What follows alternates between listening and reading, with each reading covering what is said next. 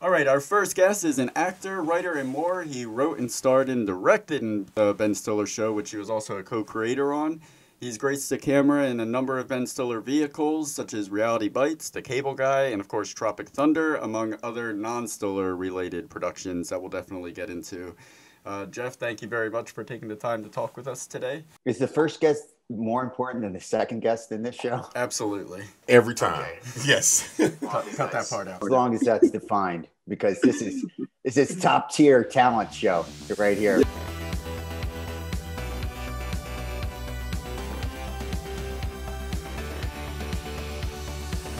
Now, Mr. Kahn, of course, you acted in a few things in the late 80s, but it seems like you really found your place with the creation of The Ben Stiller Show in 1989. And you do go on to work with Ben Stiller again throughout the years. So, a lot of people want to know did your involvement on that show stem from a prior relationship with Ben, or did it kind of the, the relationship like during the show did you guys just build from there? Where is the epicenter of that thing happening? The beginning. the genesis. When you say a lot of people want to know is that like the trump a lot of people? Just me and him. No just me, just me and him. okay me and him. good. Yeah. uh, so speaking to you two guys who seem to want to know things that nobody else in the world wants to know.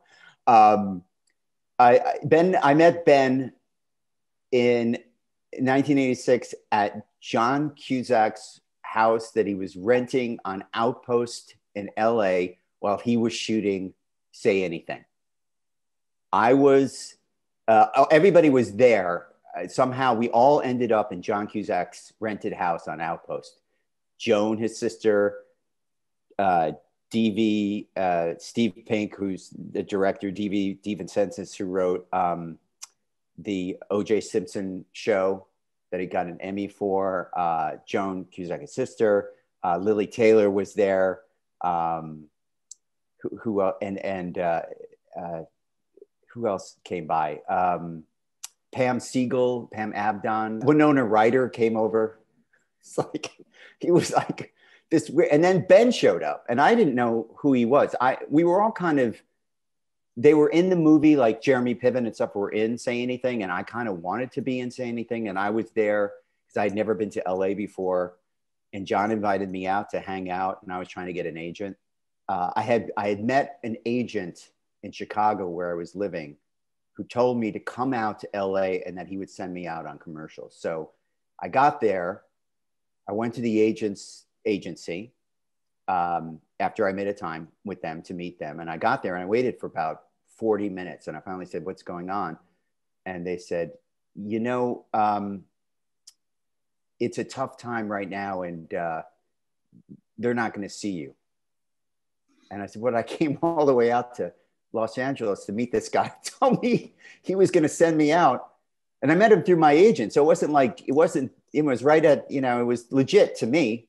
Yeah. And uh, they said, well, there's been a writer's strike. I said, well, I'm not, I'm doing uh, commercials, which is not affected by it. And they said, I'm sorry, this is, this is, you know, we're really sorry. I said, well, I'm not leaving until you see me. There you go. Right. So then they got security and kicked me out. But anyway. you made your point. You made your point. made my point. Couldn't they have at least sent an email? There was no emails in 1986. Okay. Oh, better okay. Right. Yeah they sent a smoke signal to me, but I missed it on my way over there. ben had did a, did a movie with John.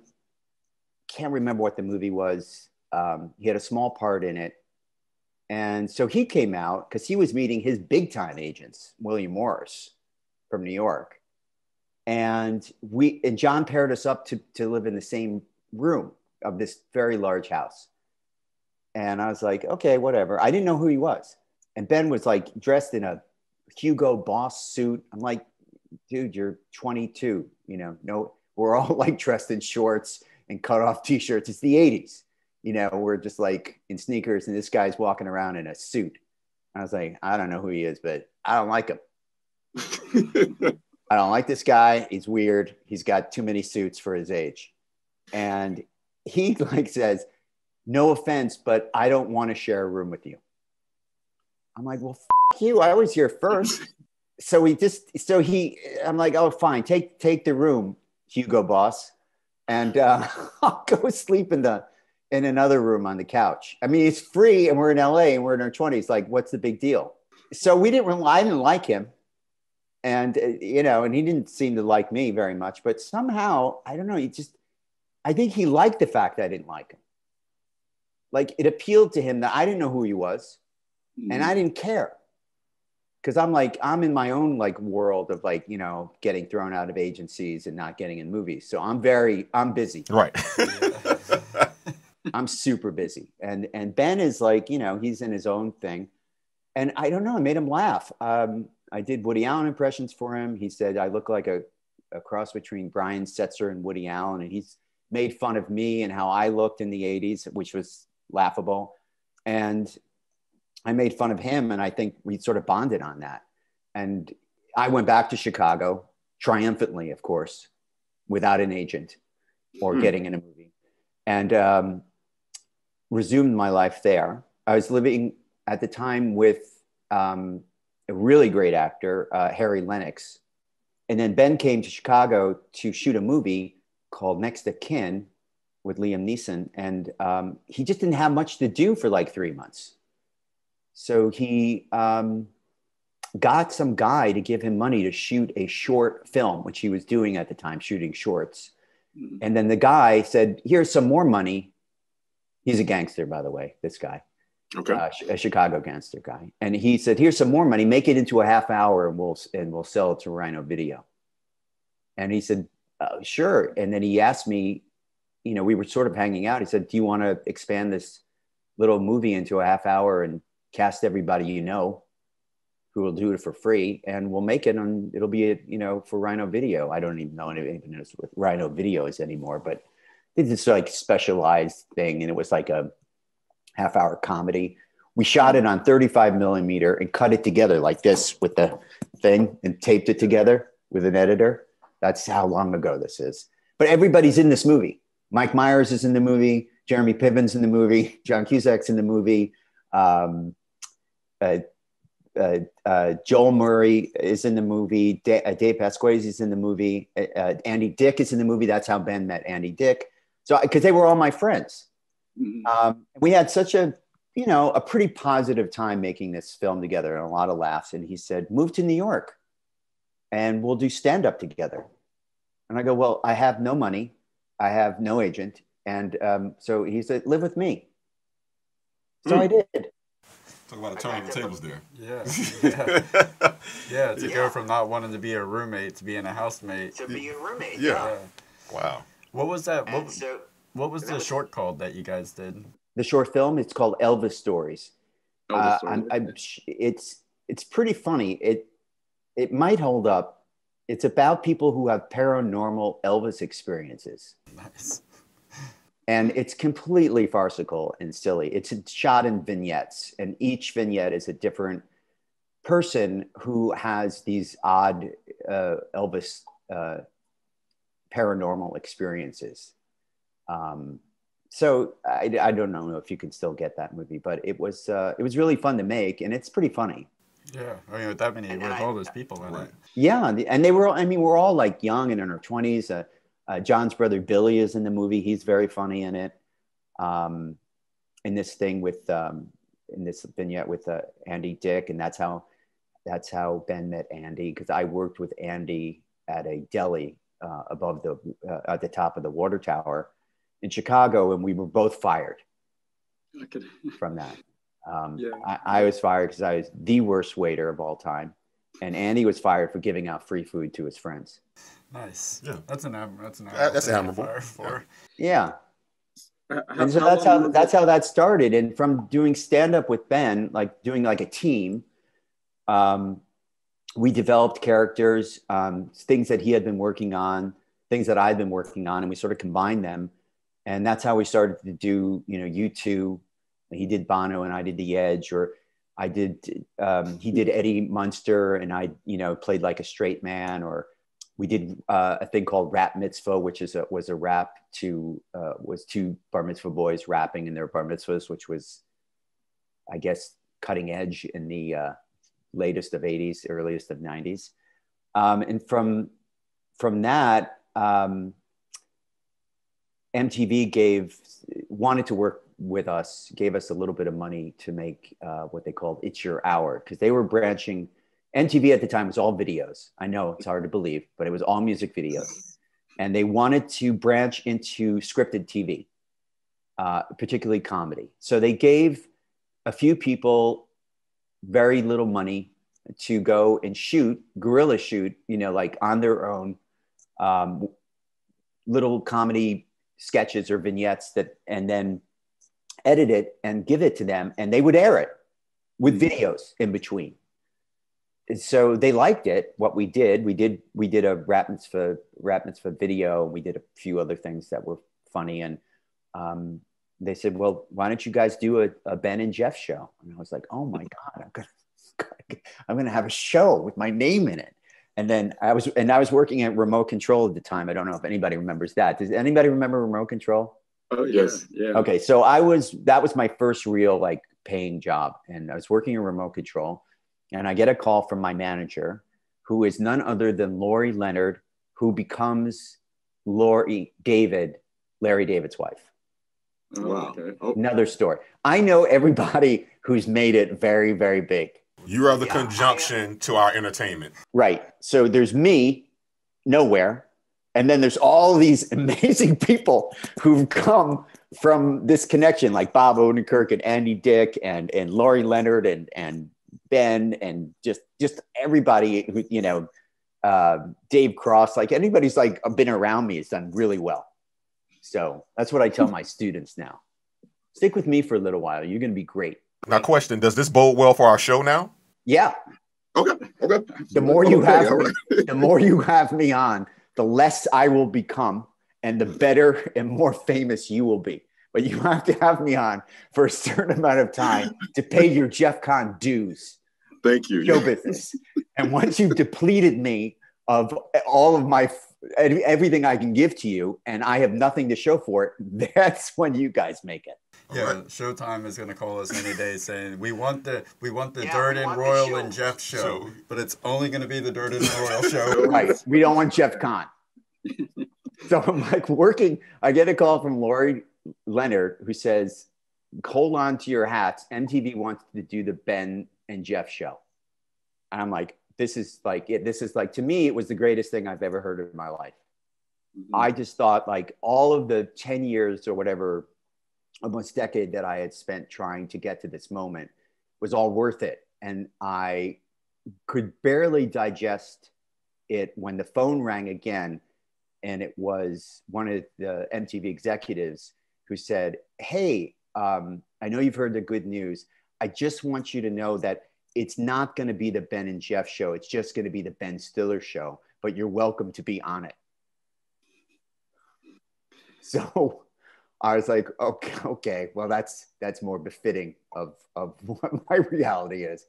So um, it became the Ben Stiller show, but I, it was just Ben and I, and this other very funny, very good actor, Harry O'Reilly, um, and it was just us doing a show within a show, which I always love uh, we were putting on a Ben Stiller show for MTV, who had made us play videos in the middle of our show. Mm-hmm. And we got to do all these different sketches and all these different worlds and basically do anything we wanted to do. So it was artistically, it was really fun. And we did a show that parodied Fox shows at the time.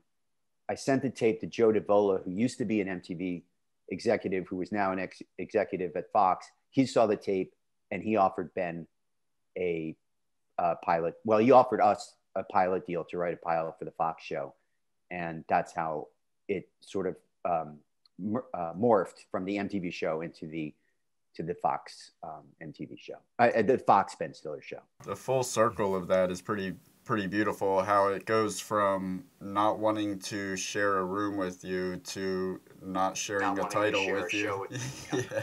Still being you now, all the way. So, Me and you, all the way was that did, do you know what why that decision was made did, was there any light shed I, on that you know look it's made because in in show business you know there's certain realities and it's not that the mtv executive was super nice a very good friend of mine and um, very supportive of me gave me a job writing a pilot for a talk show that I, you know, my first pilot, I gave me $500. But anyway, it's my first professional job. Um, a lovely person. Um, but they wanted to work with Ben, you know, and Ben didn't want to be Stiller, Stiller and Meara. You know, he wanted to be, he wanted his own show. Mhm. You know, he didn't want to be a, a comedy team. I mean, he had grown up with the comedy team, and you know, and and in, in that way, I can't blame him, right? Right. I mean, I'm not there. They're not offering a show to Jeff Kahn, really. They're offering a show because they want Ben Stiller to be on their network. It so happens that he's working with me. So, you know, I had never done anything before, really, of you know, of note, other than you know, doing commercials or being in vice versa in a small scene, you know, and doing improv and being on. I mean, I worked hard and I, you know, I did a lot of work, but I, I didn't have a resume to speak of. That was a was a, a large resume. That's a tough pill to swallow. I mean, I, even from an independent filmmaking standpoint, I've had agents and um, distributors say, "We love the movie, we love the script, we love everything about it. It's not going to go anywhere because there's no name in it." Right. That's a real reality right now, right? Mhm. Okay. So it's a little bit less of a reality then, but it's still a reality, which means they want to work with the the person who presents the star, you know, the the draw of the show, right? So even when you're making a TV show now, there's all of these outlets. There's tons of places that are looking for content, but they have their pick of the litter. If they, Yeah. you know, to them, they want Reese Witherspoon. They don't want like an unknown star or whatever to star in their show. And this is, happens in the movies too, because wh- how are they going to sell an independent movie in today's marketplace if they don't have a marquee name? And it's too bad because it it really hurts what these things should be doing, which is television and indie movies should be promoting new talent to reach a new audience. yeah. It should. Yeah. But they The don't. lesson the lessons are not learned because TV keeps finding new talent, um, but they still keep wanting to only cast you know established stars to star in it. It's tough. I know exactly what you're saying because the independent movie and the and the trying to create a pilot for TV, which I've been you know which I still do. You really need. They really say who's the star of the show. How do you get them? Let me ask you a quick question. Would you think do you think that correlates into voice acting? Because I'm a voice actor as well, and what I've noticed when I was younger, it was anybody's voice who's who pretty much who had the best voice, and they were selling the best commercials. Now I'm hearing uh, Ed O'Neill on on these like internet commercials. I'm hearing John Krasinski on commercials. I'm like, don't you guys already have enough money? I mean, I love what you do, but don't take it all. Like, I mean, what are your thoughts? I know that's not in our questions, but you know that voice i've known a lot of voiceover actors and that's been a complaint from from the get-go. I know you know that- and there is there might have been more i did some voiceover in chicago. There might have been more of an openness to it but for the for major products. Uh, like for instance jeremy piven's dad was a very well-known voiceover actor had a beautiful voice. He's always warming it up. Tia um, um, excuse me. Uh, so he's constantly warming up his voice, and it's all about his voice. Um, but he would say, like, "Why are they? Why is Ed O'Neill doing this thing when it should be me?" Byrne Piven. Everybody wants Byrne Piven's voice. It's like, but you know, they, they want Ed O'Neill. You know, they want they want the recognizable voice because unconsciously people hear that voice and say like, "Hmm, there's a voice I I I I know for some reason. Maybe I should buy this product." I agree with you. Like, what's the, you know, why they can pay him two million dollars? They pay you, you know, twenty five dollars and change. You do it, but. And you do have a great voice, by the way. well, thank you, sir. Thank you, Mr. Kahn. He does. really good voice. he doesn't need to know. it. He's I- doing it. I think I will. Thank because J- J.K. said so. I'm going to do it. Thank you, sir. I, I do. I truly appreciate it. and I truly do. Thank you. I don't know if you could see the poster in the back that says King Humble. He, he has a bit of an ego issue. So I'm working he- on it. He does not need the compliments. I'm working on it, Jeff. I'm working on No, it. you, should, you need the ego actually, because because otherwise you get you get blown to bits. The problem with ego is what do you do after you make it? Yeah. Yeah. When, yeah. when, it, sure. when when you can't rein it in. Why why are you looking at me? I've never got there far. Yeah, I, I think the uh, I, I I get why why movies and and TV shows do that. I mean, and I think largely it's the fault of the general audience because what's the first thing that somebody says when you say, "Have you seen this movie?" Who's in it? Yeah. Who's in it, Mhm. right? Yeah. So hope I, I mean Well- I, I get where they're coming from, but I I guess you can only hope as a struggling actor to get on one of those vehicles and then be able to bridge from a supporting to a lead eventually because Yeah. people then know you. It's you know what you have to think of yourself like a stock, Yeah. right? So you you need a portfolio, right? You need and, and, and once you have established the viability of your stock as something that makes money, that generates commerce, then and that's cynical, maybe cynical, but I'm just I'm I, I don't feel cynical saying it, but I just feel like that's the reality of, of a marketplace because people are looking at Netflix going like, I don't know what to choose. There's eight bajillion things here. Oh, I know that person, right? Mhm. That's um, uh, David Polinsky's uh, other name or whatever. what is your name? I don't know any of your names except for David. But what is your all your names? Tarian and Durden. Yes. Maybe you should just pick a name and stick with it, you know, or just be a, be a one name guy. One name guys are the best. I can't because David Petlansky still has to land regular jobs, and they don't like what Durden Godfrey does on the side. they don't. They don't appreciate you having a passion beyond the nine to five that they're No, asking they you don't. to.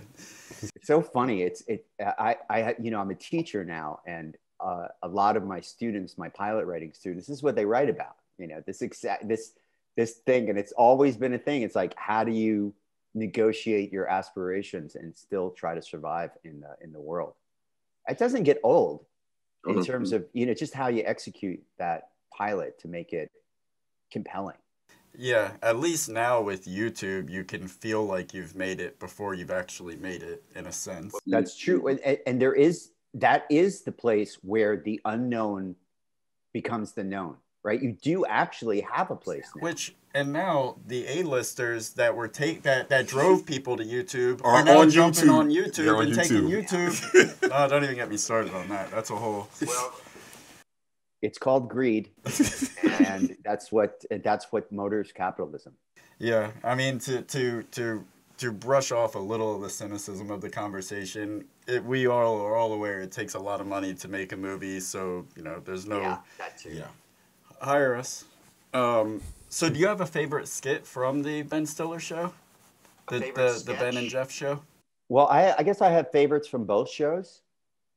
It- when we were we did like a 25 year reunion or something or a 20 year reunion and they asked that question and and and I think Judd Judd was Judd Judd was the monitor Judd Apatow was uh, and, and Ben was there and Andy Bob Odenkirk was on a screen and I was there and Rob Cohen a very very great uh, sketch writer and writer in general, and now a really good director. And Janeane, they asked us that question, and um, so from the show, from the from the Fox show, I you know I I always loved Manson Lassie so much because I just felt it was such a clear idea. It was so Odenkirkian, is what I would Mhm. say. Like it was really cerebral, but that it, with the, but in the execution, it was just so nailed. Like it was smart, but it was silly and it was funny and it and it was shot in black and white, so it had sort of a patina of of of the old TV shows, you know, and the feeling of that, and it just it just always lo- I just loved it. I just thought it was like it was just such a gem. Mhm. Um, there's a, there's a lot of them, you know. I mean, I certainly loved making the the sketches that that I was involved in, which tended to be kind of more musical. So they were really fun for me because I got to edit them and uh, put them together, cast them, and you know, do like U2 stuff or do the, you know. So Bob, uh, to pay play it forward, said that he loved the Grungies, which was, um, which was my sketch of a mashup between um, Seattle '90s grunge and the '60s Monkees show Hmm. both Nice. so dated now that it's unbelievable. it's like it's so like so old. Uh, so I don't know if that stands the test of time, but um, it sure was fun to. It was sure fun to do. It was a little bit of my childhood, right? In the, that I could be nostalgic about writing, but also like right in the moment of you know when grunge music was all the rage. And in the original Ben Stiller show, there's a, there were so many fun little crazy things. I got to do a, a sketch where I was was supposed to be my audition reel where I got to take off all my clothes and do a monologue from Equus. I always liked that one because I because it, it, fulfilled my lifelong dream of being nude in front of the camera. Uh, and doing was... and doing an Equus monologue. was a was a sock in play for that? No, I just there was a there was a very a small chair. that's, that's all I needed. So you, uh, you you talked about remote control. That was your first being like your first job, your real job. Right. Did you? Was there? How long were you writing prior to that? I came out of improv, so I I was in an improv group in college with a lot of really great people, including my roommate who was Joan Cusack, um, and some other people that ended up at Second City and having interesting careers like Holly Wortell and Evan Gore and um, a uh, Academy Award winning director uh, for short documentaries, Eric Simonson. Um, a bunch of, uh, we were all great friends. And then we moved down ch- to Chicago to, to, to, be in an improv group there uh, to continue sort of what we were doing in college. But I, because we needed to do a show every Tuesday, there's a certain amount where it was improvised and then there was a certain sort of sketch element to it. And so i was really drawn to the sketch element to it. Uh, and even though i didn't you wouldn't say i wrote the sketch out i would outline the sketch. Um, so i knew what i wanted and what i wanted the actors in the sketch to do. So i sort of gave them lines or i gave them through lines or i gave a beginning and middle and end. So i learned how to write by by having to do this show every Tuesday, and I wanted to generate new material all the time um, for the cast and also myself to create characters. Mm-hmm. Um, you know, to fulfill my dream of never getting on SNL, and so that's how I that's how I learned how to write, and from that, expanding that sort of idea into what I was doing with Ben to do vignettes for that movie and then start that's sort of it's like a an evolution of learning how to write sort of by writing itself. So i had not written for a tv show before remote control but i had written a pilot for a talk show which was very written out even you know even the monologue. Um, yeah. so i sort of learned as i went along but i had to do it every week yeah, that's that's. I mean, that's a good way to stay in practice. So now, a lot of people they'll say this. They'll say, "Hey, listen, it's nothing wrong with following your dreams and right. doing what you love, but until you get paid for it, you're just a glorified intern." Now, that's some people say that. So let me ask you this: How long was it before when you were putting your name to stuff and get it out of there? Did it turn from doing what you love to actually now I'm getting paid for it? Yeah, I I, I look at my time at MTV as as my interning years because mm-hmm. they didn't pay. Shit. Okay. Right. So we, uh, I guess my first real writing gig, I mean, that I was supposedly being paid for, was a um, special, an hour special, a half hour special for Colin Quinn, who was one of the stars of Remote Control and a brilliant comedian mm-hmm. um, and a very good actor so he wanted to he was like you know he was bored with remote control in a way and he wanted to do more stuff. And so they teamed him up with ben and i and we wrote the colin quinn back to brooklyn special. Mm-hmm. and i was paid nothing.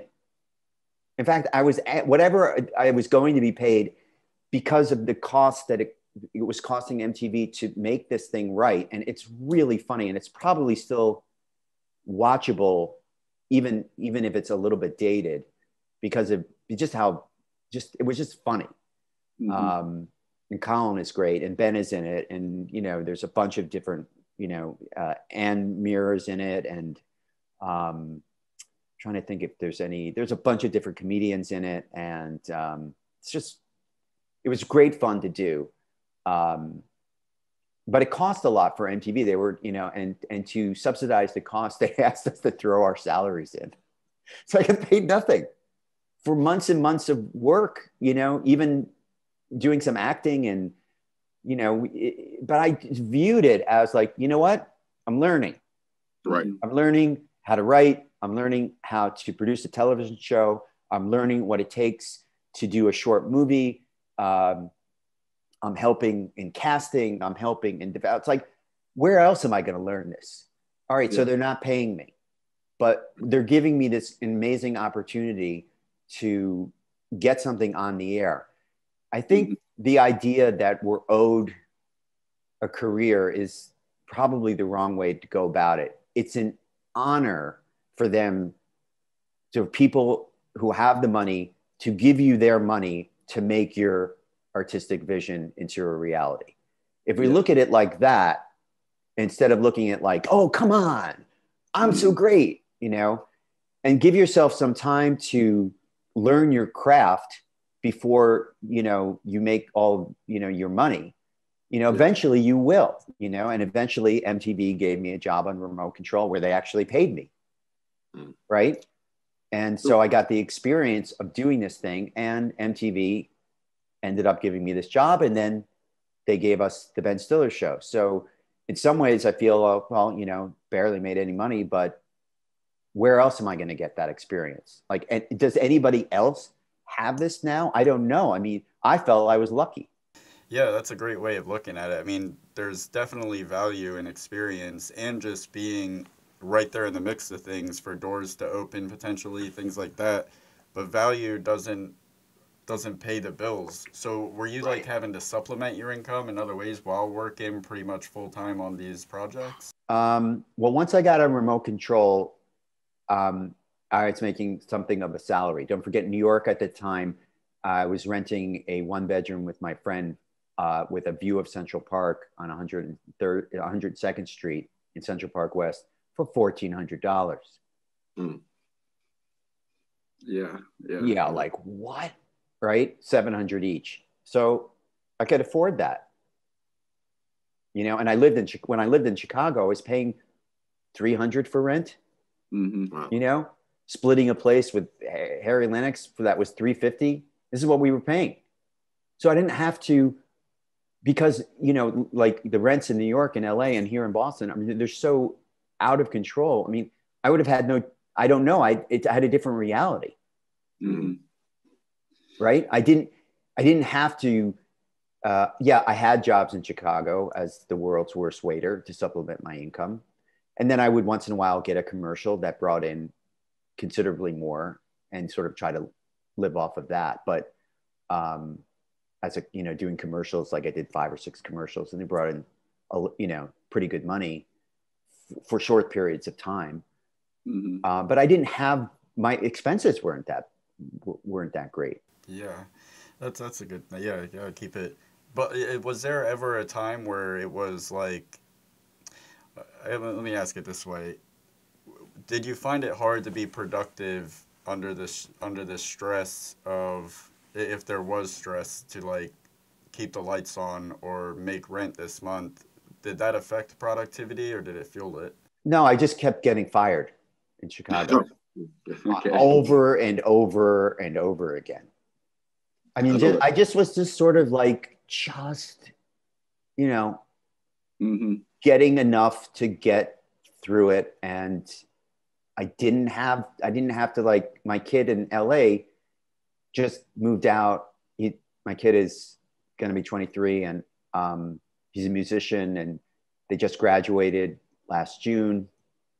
Um, just moved out of Annabelle, my ex, my ex-wife's house. Um, and he, they have to pay a thousand dollars a month rent. I never, I never had to worry about that. Yeah. Yeah. I'm like, I'm like, whoa, that is just, you know, and Yeah. that's not that's that's their share Mhm. Right. Oh, of the wow. rent. Yeah. I paid seven hundred dollars and in New York City, and that's when I had to a job that paid me enough that I could, you know, was certainly I didn't have a lot of stuff, but you know, I was able to get by and eat and keep the lights on. Um, and then I started getting more work after that. I started Ben and I started to get scripts and started to get paid, and I started to get more money after after um, the Ben Stiller show on MTV. So, you know, Okay. writing a pilot and all that stuff. So, um, and that's like 90, 91. So if I would say that if I graduated in 84, I didn't really make any money to speak of until, you know, 91. almost a decade. So I, I think I know the answer to this question, and quite honestly, I'm really just asking it for the soundbite that will hopefully inspire struggling, aspiring writers out there. But if if the opportunity never came to make this a job, uh, where you where you could make money, where you could pay bills by writing, would you Right. would you like? Did you have a did you have like a, a mental thing in your mind like if it doesn't happen by this time i've got to figure something else out or would you just was that never even a question or would you just still be writing for me. Not not to begin with. I, I wanted to be an actor, right? So Yeah. that I mean that's like really oblivious to reality, right? You can't live in reality and want to be an actor because you you'd be like, this is this is ridiculous. Who doesn't want to be an actor? You know? Yeah. um, and I just wanted it, you know, and I wanted to be on stage, and I and I got on stage. I just didn't get paid for it. I did lots of theater in Chicago, and I was doing improv all the time. I did stand up comedy. Uh, I was in improv groups. I worked at Second City. Uh, I worked with Del Close. I was performing constantly. You know, there was Mhm. constant being uh, performing on and off stage, being in plays, doing commercials. Um, I never stopped. Uh, it was hard to to work a day job with all that stuff because because I was so focused on trying to make it. Um, and as I said, you know, I was just the worst waiter of all time, easily flustered, terrible in math, um, just uh, not interested.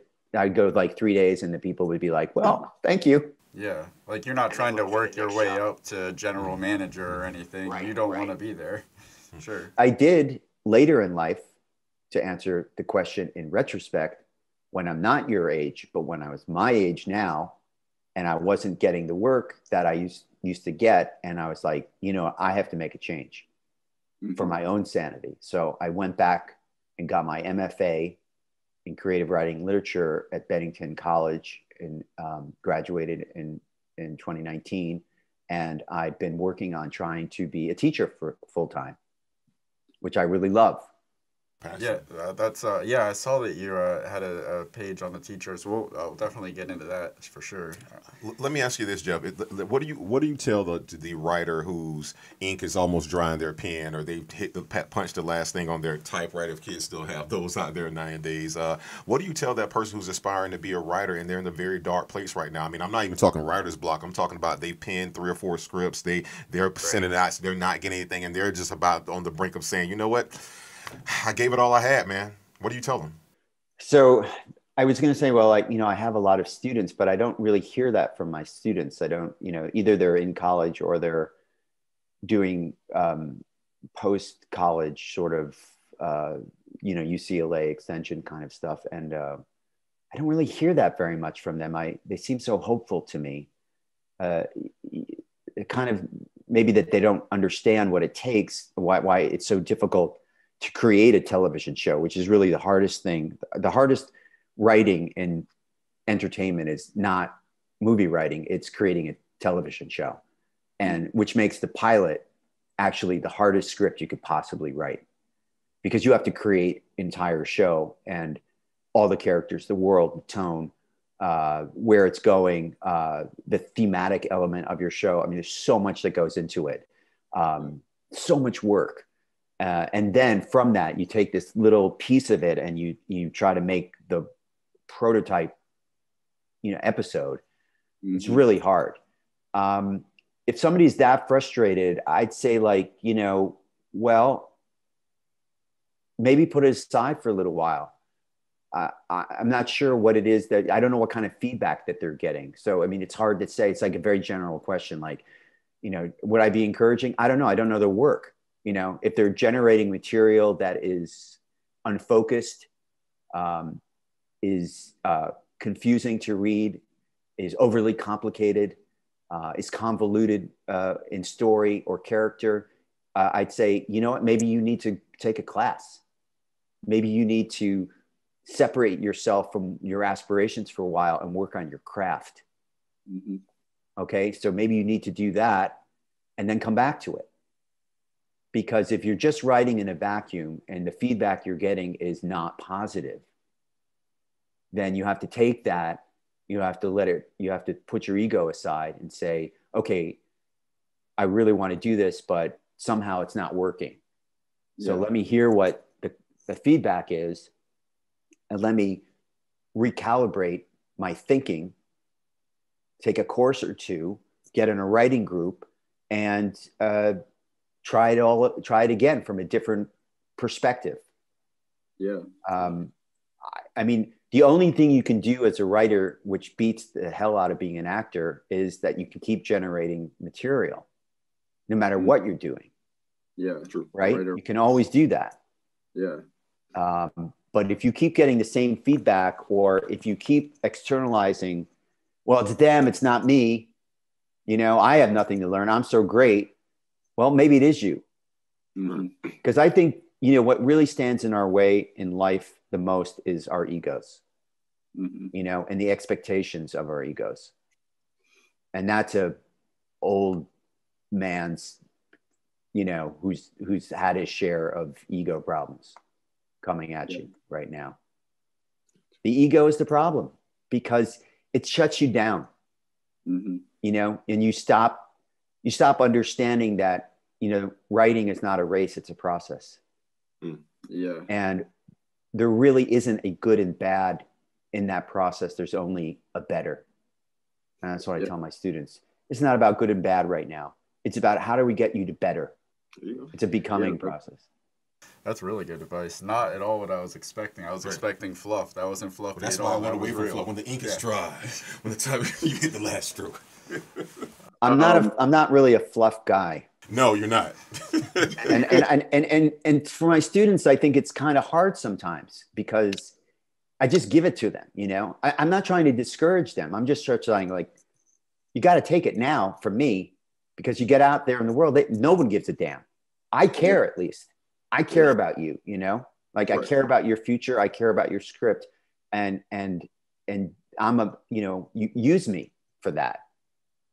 But I have to give you the reality of the situation. That's the price you have to pay. Yeah, that I mean, yeah, yeah, as a, as a teacher, you're not only you're not only giving them experience in how to write, but how to deal with that pushback.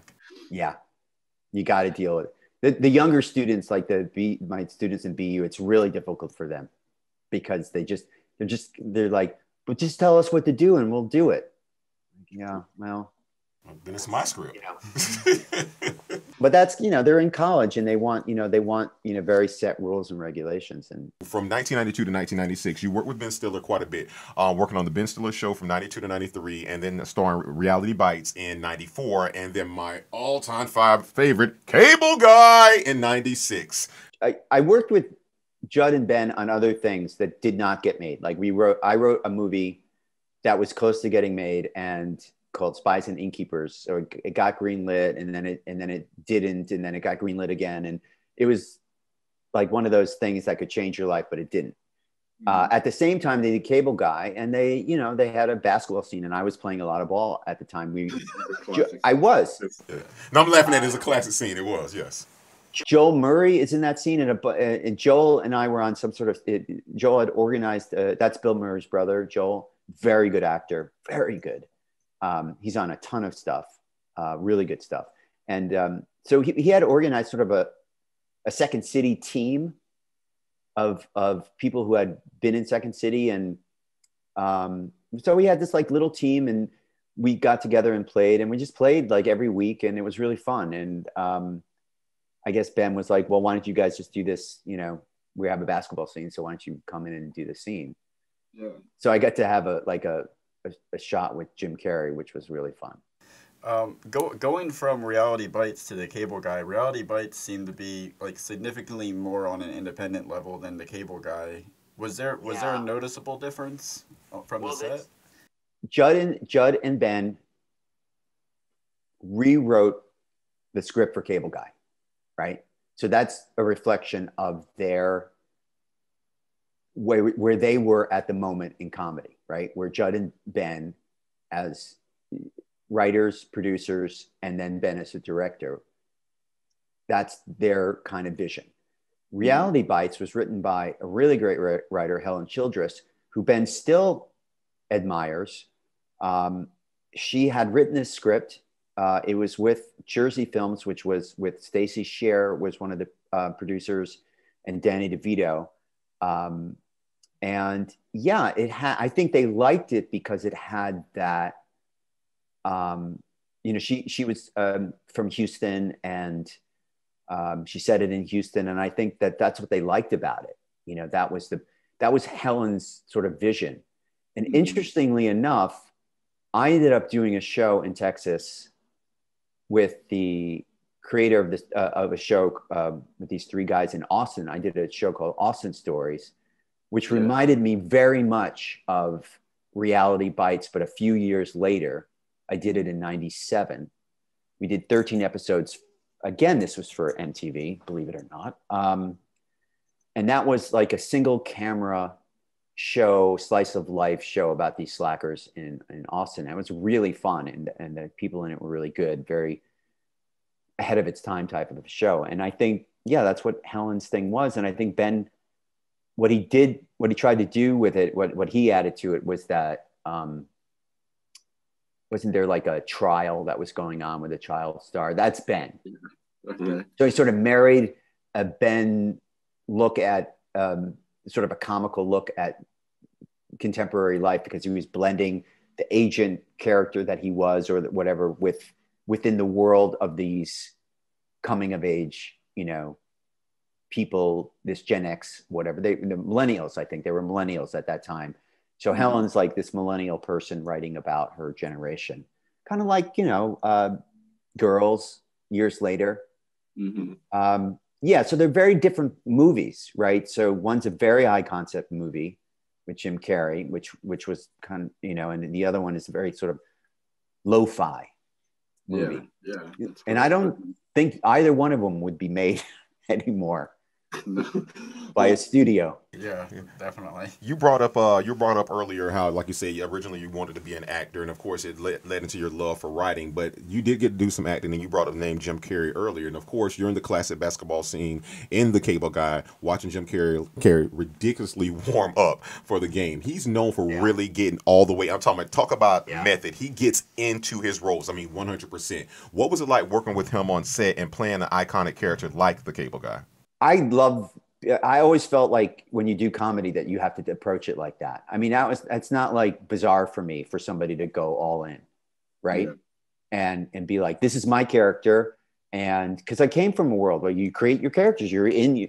It's like the way an actor creates a character, right? I mean, that's what he's doing, right? He gets all in, and he's and Ben is the same way, you know. Uh, you know, he it's like that's the way, and I I appreciated the approach that Ben took, the seriousness that he took about comedy, which is funny, right? That he and I were very serious about comedy. And so is Jim Carrey. Like it wasn't, yeah, he's really funny and he knows what's funny, but he's serious about it, Mhm. right? So I wanted to match his intensity, right? So I had to create my own straight man character, right? Whatever it is, like it's pretty much just like, you know, a guy who's really way too serious about basketball. And he, you know, he's doing this thing and it's like really funny, but it's like he's all in. He's in it. Yeah, Love that man. and that was like that was his first time kind of dipping his toes in a in a darker side of comedy. Yeah. That, so Other than in living color. okay, I I'm just saying. I'm just did there. saying. Come on. Hell, it's my first time referencing it. Go ahead. Um, and was that on, on that set? Is that where you met your ex-wife, Annabelle? No. No, I knew Okay, Annabelle. I just I noticed she was in there, and it no, we were already, uh, uh, we were, I met Annabelle in 1990. okay. So I had known her for a long time before we by the by by the cable guy we were um, going out for serious for the we were serious or like we're about to be engaged or whatever it- it's because we got we or we were engaged because we got married in 96 Okay. so no i did not meet her then because that would have been really quick. I met her in Yeah. cable guy and we're getting married in three months. I, I knew her for it seemed like I, I, I knew her for five years. And that that's what the book is about really. It's about the book that we wrote uh, uh, is about the courtship the elongated strange courtship and story and it culminated five years later in getting married and and you know this life Yeah, that's a that's a perfect segue. Actually, the next question in in that was 2010, where when you co guys co-wrote the book together. It's called "You Say Tomato, I Say Shut Up," um, and I, I guess can you tell us a, a little bit about what that what the first what the book was, what the book is kind of about, and and what that was like? Because what I from what I read, it was ultimately like a memoir. well it, it is it's a it's a memoir okay. That's what it would be classified as a nonfiction memoir, but it, it told in two different points of view.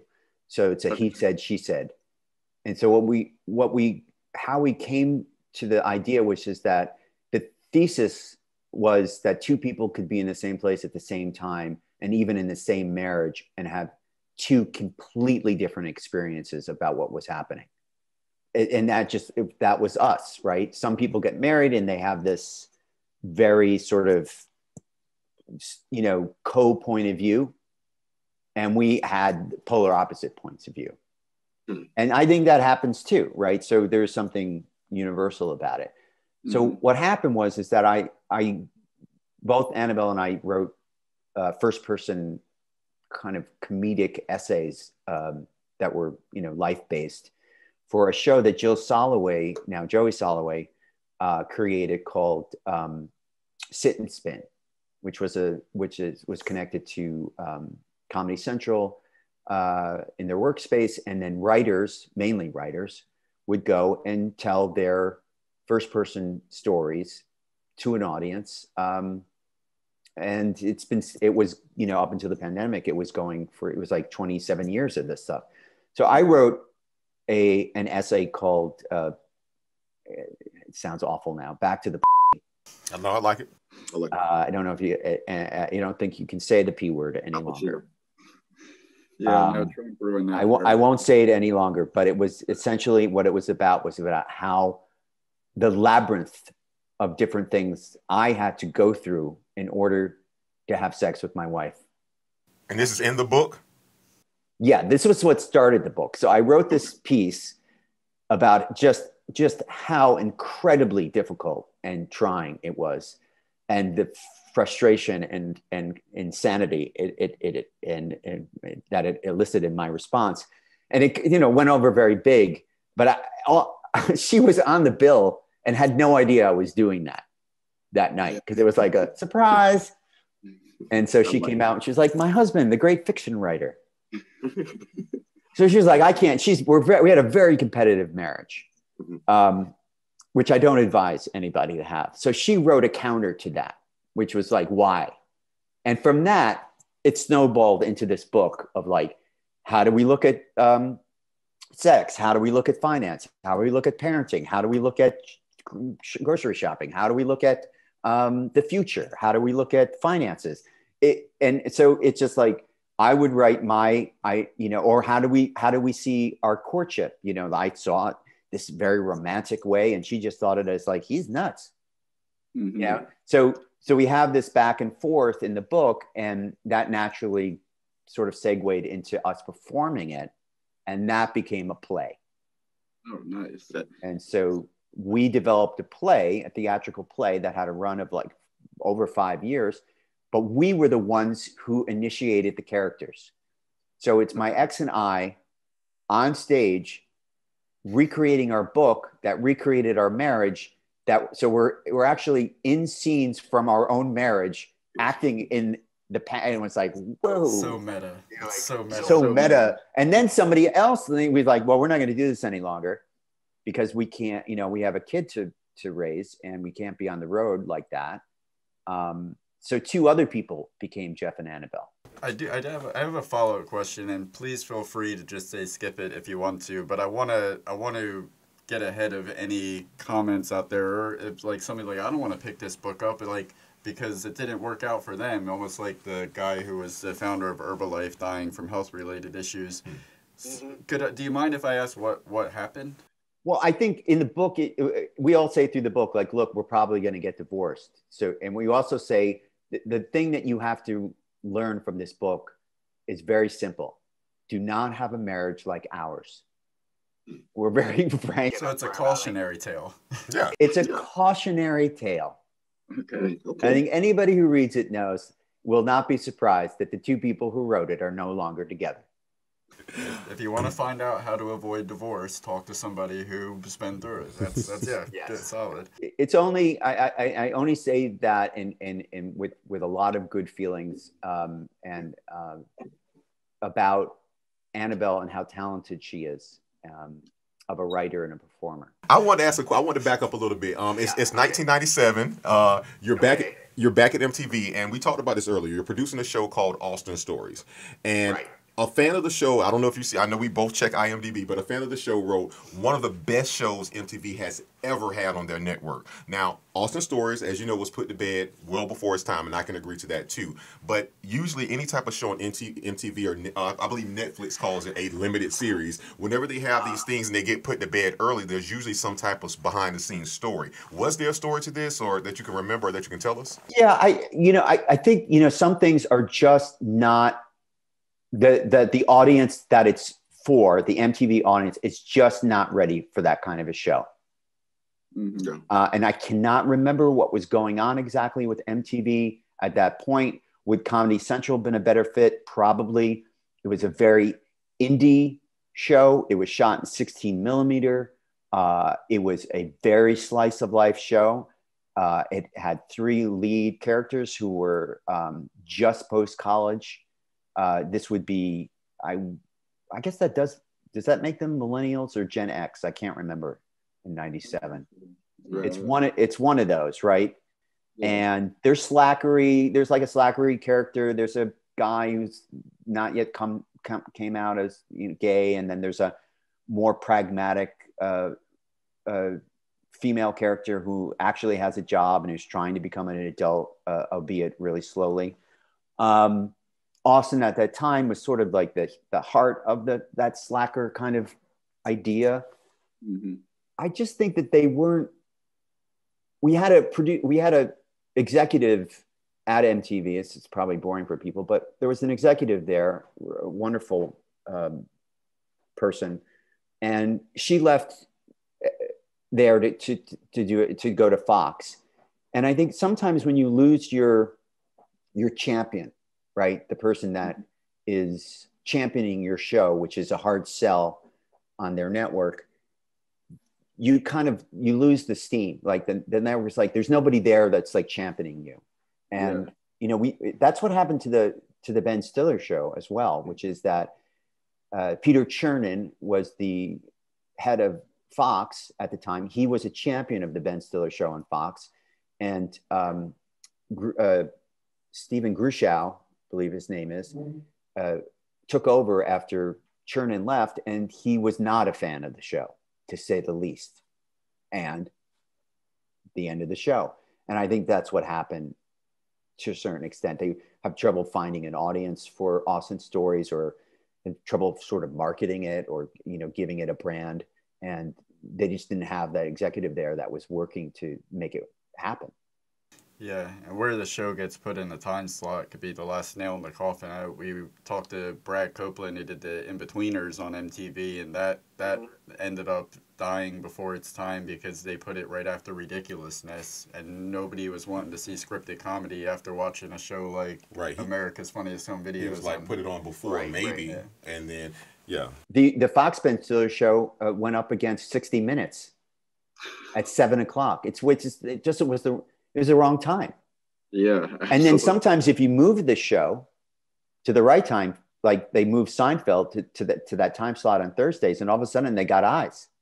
Mhm. You know, it's there's so much luck involved. Yeah. But I think you do if you lose your champion, on on marginal shows, like shows that are more ahead of their time. Like I came back from doing Austin Stories in, in '97, and I and a lot of people, uh, for instance, uh, Matt, the creator of The Simpsons, Mhm. and Larry Charles, uh, the great director and writer um, and provocateur, brilliant, near genius type of a man. I met with both of those guys. They loved it. You know, they wanted me to write for their shows. So it it had, you know, I remember Larry Charles said to me, he was like, Larry David and I want to make a show like that. And it they did. Curb but you know it was just it was ahead of its time and it was not really on the right network because because people who watch mtv i don't think were mature enough to give a about post college kids who were trying to find their way in the world you know and still have fun Yeah. Switching gears just a little bit, in the 2000s, you played a a, a lot of supporting characters uh, from the Larry Sanders Show, Curb Your Enthusiasm, uh, Crooked Lines, Entourage, The 40 Year Old Virgin, and Drillbit Taylor. Was there a particular character from that time that was like that was the most satisfying for you to bring to life? they're so small you know that i mean they're just so they're just little the one that i the one that's the most fun that that i get the most i guess joy of thinking back to doing is the the 40 year old virgin of all the parts all the little tiny roles tiny little roles that i've done that's the most fun because it was the most challenging and I think I got the most bang for the buck out of it. The scene is improvised. Um, I have to do a scene with brilliant David Koechner and the really funny dude from the state who did the um, Reno 911. I forgot his name. And Steve Carell's very funny wife, who's the head, who's the therapist of that. And you know, they gave kids lines to say, and then they let the fathers riff. And I was like, I'm I'm I'm in A league here. I'm a C D player, and I'm in I'm in an A league, and I gotta up my game. And uh, luckily, Judd allowed me to um, flex some of my impro- improvisational muscle, and I got I got some laughs out of that. So that was the most fun and I think the fondest of my all of all my little p- tiny parts. Judd Apatow seems like the ultimate performers director or comedians director that really lets them explore the space for as a, as far as a comedian goes. Now, I, I know you said there were little tiny parts, but we, we spoke with Lisa Gordinsky earlier uh, last season, and she talked to us about one of the things I heard you mention this earlier. One of the things that she spoke on was even though she's an actress, she learned so much more that it was invaluable that she got come she got asked to be um, come in and audition not audition to be one of the cat to be, review the people who are coming into audition. And she said she learned so much from watching these people audition. So let me ask you this: you being in these parts and you call them small parts but i know you still have a passion for acting what's what are some of the tips and tricks tips and tricks that you've learned from set to set to set you mentioned it earlier learning this or writing these invaluable things what is something you can give to an actor being on all these different sets Well, it's the same thing. It's, I had a teacher at um, uh, Bennington, uh, my first term, uh, a great writer, David Gates, amazing writer. And he had this thing, and he said, you know, look, whether you're writing a short story or a novel, any character you introduce believes that that short story or novel is about them. And I was like, yes, of course, because that's exactly how I feel when I'm on camera. Yes. That's exactly how I feel. Like once I'm there on camera, it is the Jeff Kahn movie. For those Yes. two yes. seconds, I am the star of that movie. And that's how I, I do it. Cause like, like I'm, you know, it's so rare that I get to do it. And it's such an honor for me to be, uh, to, to be invited onto a set to do a part in a major motion picture. It's such an Yeah. honor. And it's so like, like a fantasy. Like, you know, it's like now it's my movie for these two mm-hmm. seconds. If I'm going to be in a scene with Jim Carrey, it's like it's me and Jim starring in this basketball moment, and it's ridiculous. But you know, that's how I approach it. I think that's a, I think that's a good approach there because are no small roles I'm stepping into a big novel, but I don't know it's War and Peace. I think it's like the it's the it's the character who gets shot in this in this in this battle, and how important it is. Yeah, absolutely. I mean, I think that's a good a great approach to it because that's where you get those those bit parts in movies where it's memorable. You could tell that that Yeah. person was bringing everything to the table as if it was as if they were the headliner. Take a picture, it'll last longer. Yeah, See, exactly. they said like, yeah. Yeah, one of the smallest parts in Planes, Trains, and Automobiles was Andrew Hens in the bus telling Steve Martin to take a picture. It'll last longer. It's Yeah. Uh, as a child that part stuck He with still me. gets residual checks for that to this day. yeah. Yeah, there's a lot of you know. Uh, Jonah Hill has a small part in in Four Year Old Virgin. The boots. The boots. Why can't I just buy them here? That's his career started there. Yeah. That's crazy. That's crazy. All right, let's talk about Tropic Thunder. The so this was Ben Stiller's satire on acting, on on on filmmaking in general, and it was done brilliantly for anybody that's been on a set. You can the the nuances there. You're featured early in the film. You you play the uptight waiter in the uh, in the Fatties trailer. French waiter. Yes, French. Very yes. Yes, and very very well played as well. so when you're shooting a trailer, I was curious when I saw this. Is it scripted as we see it? yeah. Yeah. Okay, so it's a trailer. So, the uh, I was lucky, super lucky, because I actually got to work a couple days punching that movie up with a lot of people. Mhm. Um, so uh, there was like a room with really funny people. So I knew the script before I before I was asked. Before Ben asked me, come in and do this, you know, French waiter thing. Um, so they they they wrote the trailers like trailers, and that's the that's sort of the teaser of the uh, right uh, of, of the movie itself. I believe it's the first scene. you are the first actor we see on screen. Yeah. Mhm. Yeah.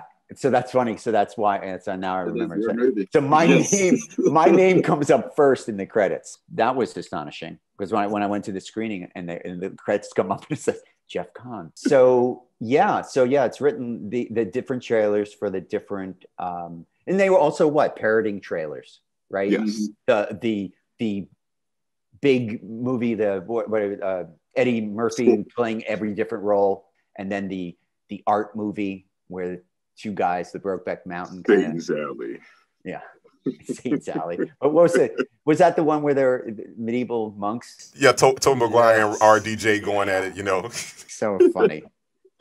I'd that one I loved. yeah. I- yeah. I'd go. I'd go see it. That's really fun.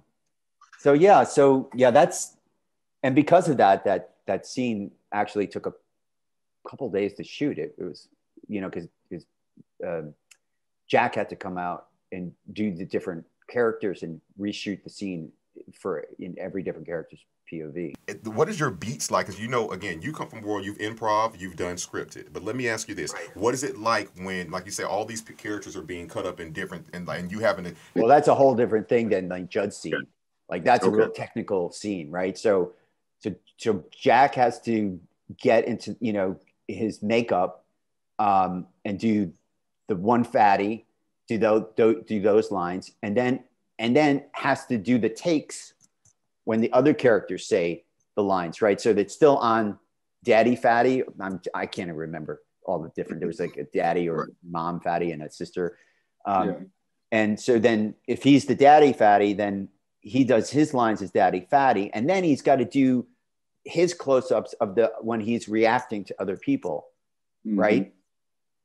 And then switch, Jack is now the sister, and then the sister does her lines, and then she's got to do their, and then they put it all together. And Judd's thing is like basically the the you know the wide shot of what's happening, right? Uh, with the parents from I guess over the shoulder of of Steve Carell's wife. Uh, forgot her name, but she's brilliant. Um, and then the three different setup close-ups of the parents and the kids. You know, the Koechner does his thing with his kid, and then um, great state actor guy. Um, he does his with his daughter, and then on me. Yeah. And so it's a much easier scene. The fatty scene is is very complicated. And there's a lot of like little, you know, there was a camera crew that did the close-ups of the of the hand, my hand, and the hitting a glass, and so there's a crew doing that, and then there's another. So like two crews are shooting at the same time to get Mhm. everything done. You know, Ben's, you know, he's a really good filmmaker, and he's very, um, he thinks like a filmmaker, as you can, you know, you can see in Mitty. I mean, yeah, I mean, he really has a visual sense. He's very different. You know, Judd's more, more like I'm going to tell the story, right? I'm just Yeah. tell the story, and I'll let the actors kind of. I mean, Tropic Thunder is is not only was he flexing his amazing body that I did not know he had, but he was also he was also flexing his directing skills and Oh, yeah. filmmaking skills because you could put that movie up with the wartime movies that it is Yeah. parodying. It is Yeah. it is the cinematography. I mean, John Toll. Uh, I mean, John Toll is going on to do Matrix Four, so I mean, it's It's there. almost like the most serious, funny action movie, military wise ever, because it's it's not shot as if a joke. No, no, no. like it is. But Ben, but that's what that's Ben's thing, right? That's and Ben's idea of comedy. It's serious, right?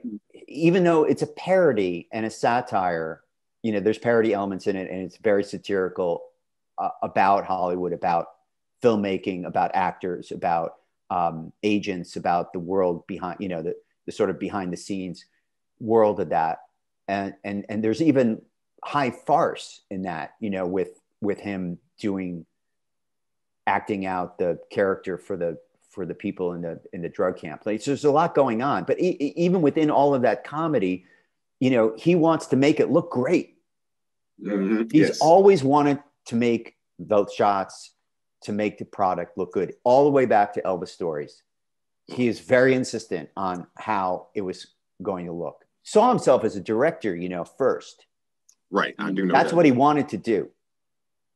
You know, and that the acting and the writing was all supposed to be supplemental to, to this thing that he that he really wanted to be a, a great director. I, I did read up on it. Let, let me ask you this because you you went into great detail earlier about how complicated that scene was. Like you, as you reminisce, like trying to cut in different crews working all together to make sure that shot happened. But out of all of the intros, all of the parody of the the trailers in the beginning, that's the one that most feels uh, reminiscent of a real skit, the trailer sketchy type feel like what you guys did with the with the Ben Stiller show. So, Yeah, it- it- was there any moments while they were filming it? yeah, the yeah, I mean that's the feel- high concept comedy, right? Okay, yes, yes. Right. So they wanted to do they wanted to create different stars who were stars for different reasons and then blend them into that into the one movie. Right. Mhm. So they instead of like expositionally telling the background, like you're you're the guy who does the stupid fatty movies, you know, show don't tell, right? That's Right. Right. So show they show them in who they are before we meet them. So we know these guys What are not going to get along and they're not going to see filmmaking the same way Right. without Well, any exposition. Was there ever a moment while you were doing that where, like, between uh, you and Ben, where it's like this is like the old days? I don't have a lot of Ben was really busy, but what I did have time to do was to improvise, play around. Like there's a lot of downtime. Jack and Mhm. I, I would be not me, the French guy. I was doing like I had a character in my head, like as I said, like I'm like this guy who's not working as an actor and he does a French accent, and so he gets this role, and I had a whole thing in my head and to do so I could do this character, right? So he wouldn't be Jeff Kahn. So he'd be some other guy. And so I'm just playing around with Jack. Like we're just like I would talk to him as if he was the sister, the real sister. And I'm Oh, like, so you, you- know, it's like, and I'd be like, you're kind of cute. And, and Jack would be like, no. And I'm like, yeah, no, you are. You're hot. And so we're like between takes, I'm talking to his character and my character. Man, he doesn't break till DVD commentary. yeah, that's so you're just a guy playing, Playing a guy, playing a guy. Yeah. There All you right. go. That's a My perfect. guy. That's a uh, perfect segue. What was it like working with Jack Black? that's it. It was fun. He's really fun. I, I knew I knew Jack for a long time. You know, I, I was peripheral uh, performer in the Actors Gang, which was Tim Robbins' theatrical group that Jack was a part of. I got to work with them a little bit, and then John Cusack developed, uh, created his own theatrical group in Chicago called um, New Crime Players, New Criminals, I believe, and which and so it was based on Commedia dell'arte, which is a way of acting that I, a style of acting from the Italian Renaissance that we learned that Tim was doing, and then John wanted to do it, and Black and Jack was a part of that uh, company, and so I, I, knew Jack for a long time. Um, I sort of saw Jack go from a guy. Jack auditioned for me when I was, and my writing partner, Aline Brosh, who became Aline Brosh McKenna, the amazing, brilliant writer who um, created Crazy Ex Girlfriend and also wrote The Devil Wears Prada. Uh, with a, I, again, I worked with her for five years too, and she's doing all right for herself. So, um, she's she's absolutely brilliant, and I can't believe we haven't talked about it because she's uh, and I and she put me on Crazy Ex Girlfriend too, so I got to be in that show twice. Oh, um, so um, he auditioned for us several times, but he was very shy. He seemed to be either shy or he didn't really want the part, or because we really loved him and we wanted him to do it, but he, we couldn't get him past the network. Yeah. They would say, "Yeah, he seems a little green," and we're like, "No, he's he's really good. He's going to be a major star." Um, he's not green. He's just shy. Um, yeah. So wow. yeah, I would I'd ask I, I would ask Jack to come and audition for our pilots, and then you know then he became a huge star. Now the so the movie deals with a lot with the pretentiousness, the self-importance that actor that it's commonly associated with actors, and we don't want to throw any anybody in particular under the bus. I don't, I'm not looking for like a name or anything like that. But is there a situation that you could recall um, that you could share that proves the existence of people like Tugg Speedman or Kirk Lazarus, like an overly self-important individual? Let's just say those people couldn't play those people unless they knew that they were those people. Yeah, mm. self-aware. Who doesn't do that? They all do it. We all do. We all.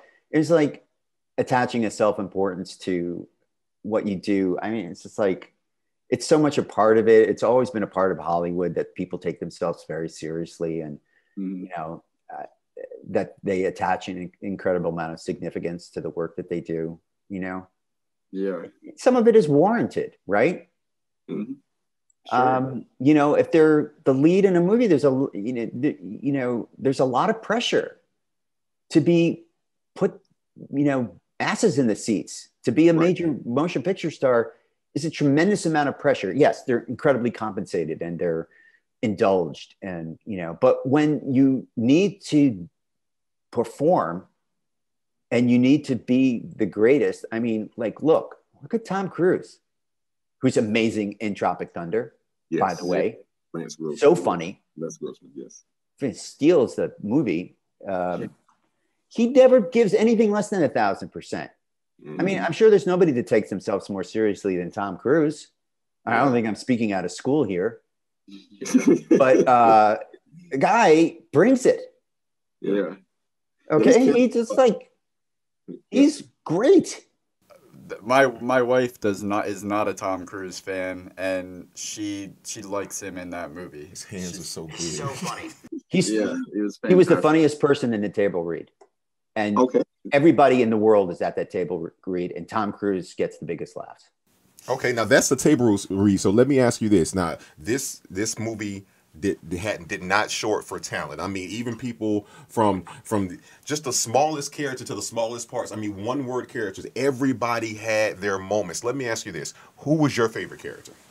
You know, I've, I saw it a bunch of times, and I think each time I might groove on some new character. I, I, mean, of course, I loved this, is, and you could never do this now, and I don't even know if it's even it's so bad. Shake that shit up, man. What, what's his name? The the the Australian uh, the, um, actor that was playing.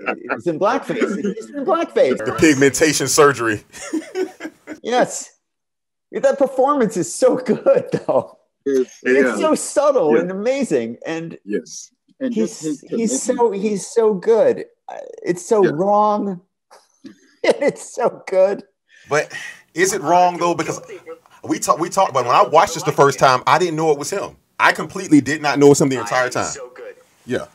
Yeah, and we, so we, we had this discussion on Martin Luther King Day. We did, yes. So yeah. I don't know what to say about it because It, it, it, you know, I had I have a, a, a relative who took a considerable offense to the quote going full. Mhm. Not my line. Not saying that. It's in the script. Um, took a, a considerable offense and thought it was horrible that uh, that mental illness was treated that way. And I, I was trying to explain to him, it's like, no, see, what he's making fun of not mental illness, he's making fun of Hollywood types who don't understand right. mental illness and and so create these ridiculous stereotypical horrible uh, caricatures of it. And he's like not funny. So like okay all right i'm not i'm not.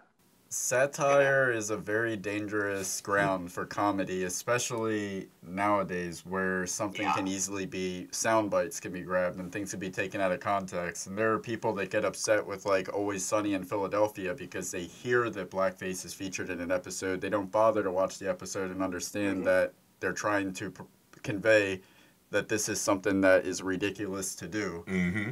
leading by example. but then i was saying like you know the other times i watched it and i would be like really like just grooving out on on on steve Coog, uh, Co- uh, cogan's cogan's is Yeah. his name? Coo- I believe it's Coogan. It's Coogan. Yeah. It's Okay, right I, I just like i just because i love him and, and and i just like and i was like you know what that even though he gets blown blown up um he just kills me in the beginning of that right he's just so funny and and then of course tom cruise character Yeah. the whole way through you know uh, as Les uh what's his name Grossman. Grossman. Grossman. Grossman. Have you ever have you ever known an agent as good as Matthew McConaughey? The Pecker. well i mean i've known agents who have been good to their clients but not to me I've never had an agent that was that good to me who would die for me. I've had agents sort of fight for me a little bit, like try to Mhm. keep me in their stead, but I've also like, you know, had agents that fired me too. So, Nobody's bringing a TiVo out to Vietnam for you yet, though. uh, yeah. They're, yeah, agents are funny. I, you know, my, I had a fun, I had this story that when I was working on with Tim Robbins uh, on the Actors Gang, J- Jack was in, in this production, but um, it was at this theater in, in LA that's clo- that used to have good stuff there on Sunset Boulevard called the Tiffany, and they were doing a, a show, and I was understudying it, right? And I was also being a PA. Um, so I was helping them out, getting them stuff, and you know, for like fifty bucks a week, and selling T-shirts outside, and feeling pretty lucky to be associated with um, Tim Robbins' Actors Gang. It's a famous Right. theater, even back then. And so I got to go on a few times, and it was really fun. And after one of the times, a guy came up to me and he said, "You know, I really like what you did. You have a very unique look, and I'm an I'm a talent agent, and here's my card. Send me your photo resume because we didn't have internet then, so I had to send it in the mail, and uh, we'll uh, I'll give it to my people there, and if we like it, we'll call you in and we'll meet with you." And I'm like, "Great," because that's what I came out to do. Mhm. So a couple of weeks later, I get a call. Um, Martin Gage wants to see you, uh, wants to introduce you to the other agents. And so can you come in a blah, blah, blah day? Uh, and I was like, oh my God, I'm going to get an LA agent. It's all happening for Jeff Kahn. So I go to see him and he's like, you know, this is Jeff Kahn. He's got a really unique look. He's done some commercials. He's in the actors gang. Unique looking guy, right? He said, like, yeah, we love him. Like, you know, what a funny reel, comedy reel. And then he brings me in his office and I really like your reel, very unique. Uh, you're a very unique guy. You should know that. My my only problem is is that I got five guys just like you. So I can't bring you on right now. But if you get a part on a TV show or a lead in a movie, then you got to call me because we were really But that's That's that's your job. That's his job. And what does that mean? Hey, you're really unique, but we got five guys just like you. No, I'm not. that means that translates to this.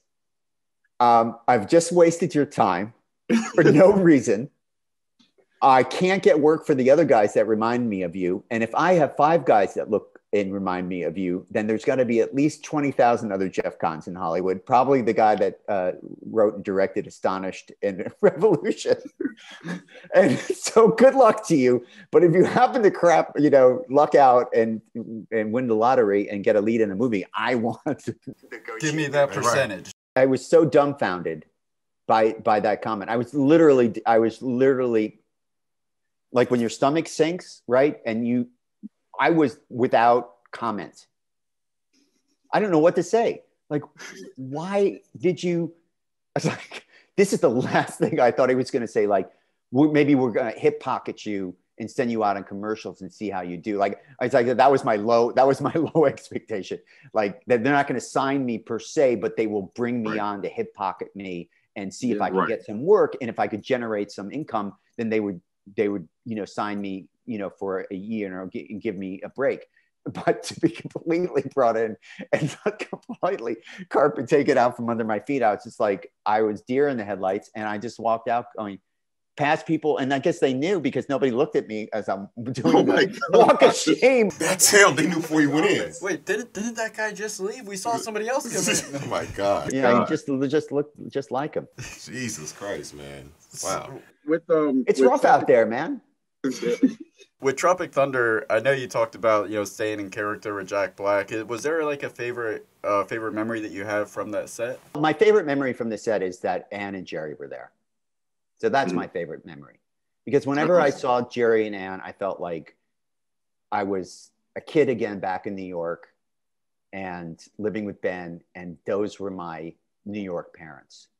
Gotcha. and I loved them and and they loved me and they were so nice and supportive and loving to me and that they were both there um and you know and I got to talk to them and hang out with them and hug them and kiss them and talk to Jerry who was always such a supporter of mine and Anne was always so funny I, I actually uh, got to punch up a movie that Anne was in once too and I got to see her on set as well and that was that to me was the big treat.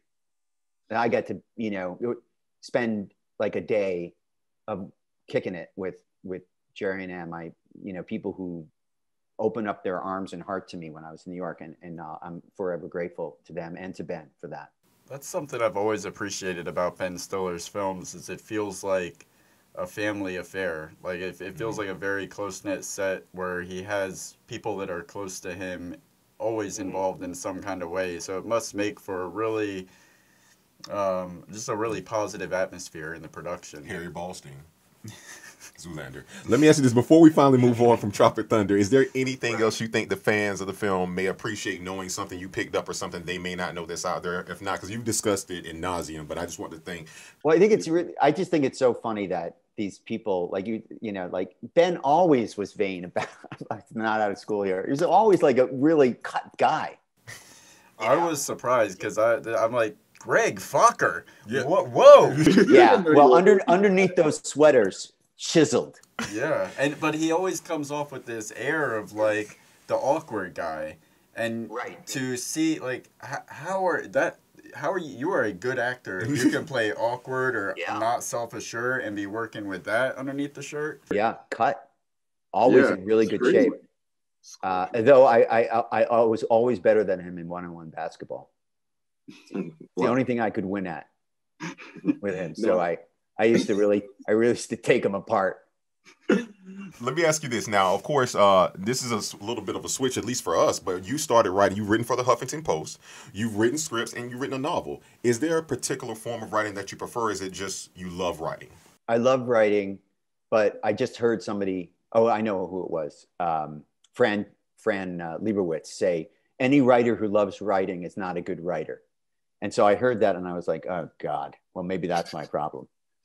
Um, I do love writing. It's very hard to write. I I didn't you know I started my I wrote a memoir, so it's a nonfiction, um, and then I began writing a novel trying to learn how to write a novel when I was in grad school as an old man. so I, cause I was like, I've never written a novel before, you know? And so I, you know, it's very, it's hard. It, it, it's really hard uh, to write anything. Um, I enjoy partnerships in writing. you know, I've had Ben as a partner, and I had Aline, and I and and, and uh, my God, how lucky is that to work with two absolutely top of the game, a listing, brilliant, um, no one better than people. Like I got to work with them both, Yeah. and um, yeah, I just I, I and I like working with students because I feel like even though it's not my script, it's their script. I'm still working on a script, right? Yeah. I'm still working on on a television uh, treatment, Mhm. and so even the act of writing w- or being a teacher, to, trying to teach somebody how to be a writer, is is fun for me. Maybe I love it too much. Maybe that's my problem. Um, but it is hard, and you know, writing alone, you know, writing with a partner, especially in comedy, can be really fun, and um, make the hours fly. And sometimes writing alone can be very sort of isolating, especially with comedy, because you, you don't know like is this funny or not. Like like I always knew what was funny because you know even if Ben because Ben wouldn't laugh, but he would go like, "Oh, that's funny, Yeah. that's funny," and then he'd be like, then he'd be look at me and go, "That why why'd you write that? That's what is that funny to you?" And I'd be like, "No, no, it's not. I don't know why I wrote it. I'm, I'm, I'm terrible. Fire me." I like it's frightening, you know. But I knew it's like he'd be like, "Funny," and then I knew it was good. And Aline would laugh. yeah. She would, I, I- you know, if, if I made Aline laugh, I was like, "That's funny. I know it's funny." But So- when you're alone, like it's hard to tell. It's, it's you know, it's Yeah. tough work. Yeah, that that's um, on your instructor page on uh, UCLA. There's actually a quote that I thought was pretty great. It said it, you, about writing. You said it's hard work, and it's totally worth it. So I was I'm curious. What would it? What would you say is the biggest challenge that makes writing hard work, and what makes it totally worth it for you? the the hardest thing about writing is that because of our egos we think that the first thing that we write is the thing right so Mhm. the real hard thing about writing is like even at, uh, like pilot writing is different because you you have to create an entire show so that's just hard this is Yeah. plain out hard but script writing is that the first draft is just blah you know it's rewriting and rewriting and rewriting and rewriting and rewriting and rewriting. And do you have the discipline? And do you have the focus? And do you have the energy? And do you have the lack of ego to be able to say, like, you know what? This was good two weeks ago. It's not that good right now. Somebody like working with somebody like Ben taught me that because because I'd be like, this is so good, and Ben would be like, "Mm, I don't, I don't, this is, I don't. Maybe we should just throw it out. Mhm. I'd be like, what? You know, but he's right. It's like, just, you gotta, that's what the hardest thing is. It's like, you think what you write is brilliant because you wrote it and it seemed really good in the moment. It can be better. And it can always be better. And that's really hard. I think if you're honest with yourself, the longer that you're doing it, and the more you go back and because that something that I've learned, like when I when making movies, is um, the latest thing is always the best thing. But then I go back and watch what I thought was my best thing in 2004, and I wouldn't show it to anybody now. So Well, you can only be who you are in that time that you write it, right? You can only be the actor that you are when you acted in that time. You can only be the writer that you are. So of course, you know, and you do certain things well in different times. Like, you know, Jerry Seinfeld has a book about writing comedy that just came out for writers or for comedians. And it really retraced, uh, I, I saw him being interviewed and it, he keeps all of his jokes and he sort of like says, this is what I was doing here as a child. And, you know, and, and these are the jokes I wrote here. And here's the jokes I wrote in, you know, 78. And here's the jokes I wrote in 85. And, and it's like, yeah, some of it makes him cringe, but then he thought, well, you know, this is who I was then, and this is what Mhm. was good for me then. And because I was able to do that then, I got to the other points of my career. Yeah, Let me ask you this, because since we're on writing, we're almost we're, we're going to let you go here, and I appreciate all the time you've given us. The, the joy you get from writing is it the same joy that you get when you're teaching some of your students about writing, or is it a different feeling altogether? It's pretty similar, I think. Uh, it's a similar feeling of like being in a artistic process Okay. and um, you know it it feels a little different when it's when I'm creating and I haven't I haven't written uh, I wrote a uh, I wrote a, a pilot with Aline for Aline's company for ABC Productions. That was the last thing I did before I left LA, and that was really great and fun for me. And um, getting to work with Aline again, um, even though it was I was doing it alone, and then I would work it with her in a in a room, just her and I. That was really fun. I don't think anything is is as fun as that because it's like your stuff, but it's pretty exciting to work on a young writer's ideas and try to feel like you know maybe this guy or maybe this girl, you know, this young person is gonna get to that point where they're gonna get they're gonna get work or maybe they're gonna get a show on the air someday. Like, are who's gonna be the one who's gonna be the lucky one out of this group, you know? Yeah. And Right. and I know, and I try to like, you know, it's exciting to hear the ideas. It's exciting to develop concepts. It's you know to to create new characters with them. It's hard because they're they hold on and they're scared and and and I remember I remember feeling those things. I remember feeling holding on and scared and not wanting to listen to the feedback that was coming. You know, Mhm. so um, it's challenging to be a teacher in that way, and I also feel like it's also satisfying in an artistic way as well. Yeah. Um, before we let you go, just one final question. Is there anything that we missed um, that you want the audience to know and anything that we should keep our eyes out for?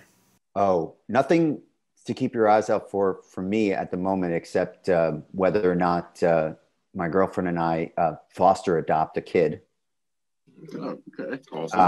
Which is one of our goals. And um, my ex is coming out with a new book. Uh, Annabelle um, Gurwitch is coming out with a new book on February second. Um, uh, I think uh, it's probably the title's out. I want to get the title right. It's um, uh, "You're Leaving When?" with a question mark. Uh, my girlfriend is is writing a book right now. She uh, is another teacher. She's a, a great writer.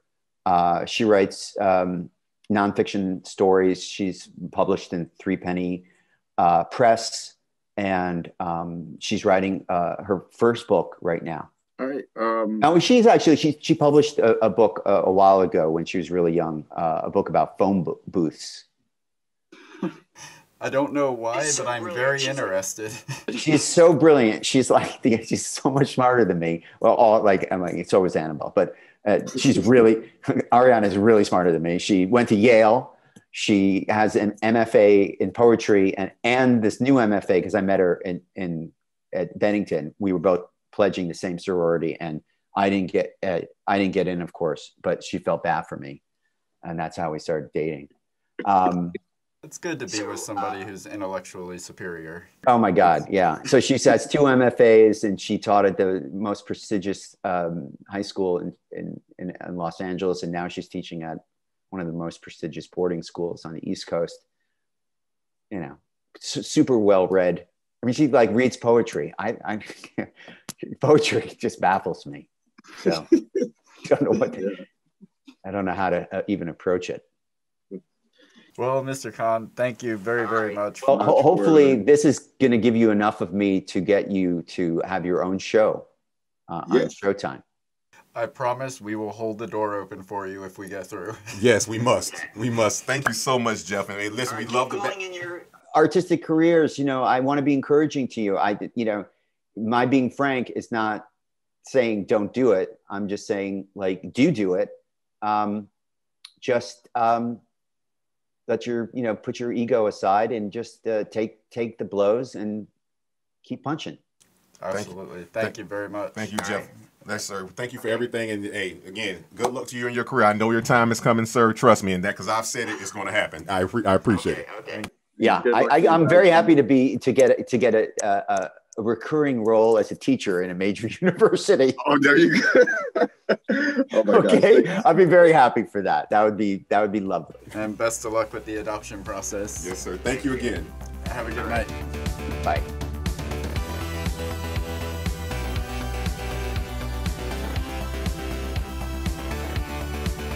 Why don't you subscribe? It'll last longer.